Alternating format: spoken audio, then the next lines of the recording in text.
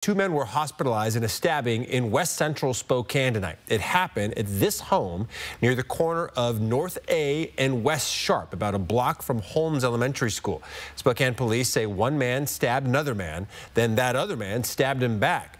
Both of them were taken to the hospital for their injuries, although SPD couldn't say if those injuries were life-threatening.